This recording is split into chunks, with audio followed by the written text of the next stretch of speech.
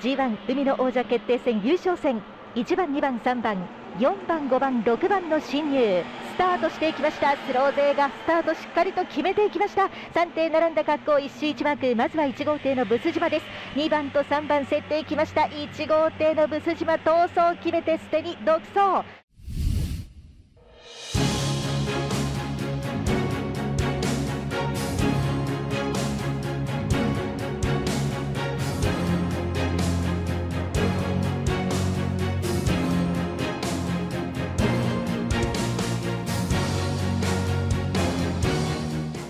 歴史ある大会の中であの優勝できて本当に幸せです。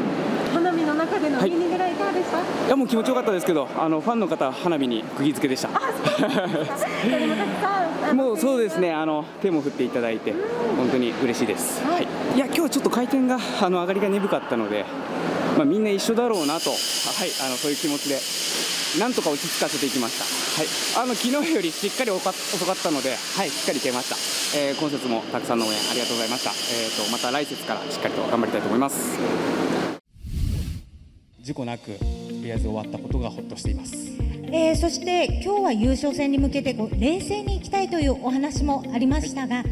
冷静に優勝戦迎えられましたか？そうですね、まあ、あの最後の方はしっかり緊張できたんですけれども、それまでは冷静にいけたかなと思います。今日はもうほぼほぼ何もせずに、あのいじらないことを目標にいました。はい近況のリズムご自身ではどう考えていらっしゃいますか？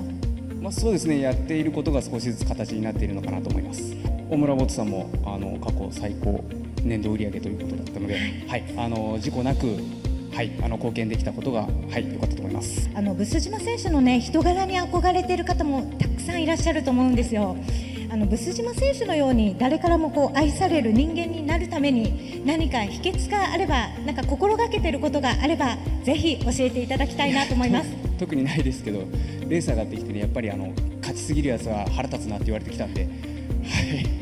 まあ、そう腹立ってもらえるような選手であり続けたいと思います、はい。そうですね。あの一節間あの応援ありがとうございました。今日も遅くまで応援ありがとうございました。大村来た時またしっかり頑張りたいと思いますので大村ボートよろしくお願いします。ありがとうございました。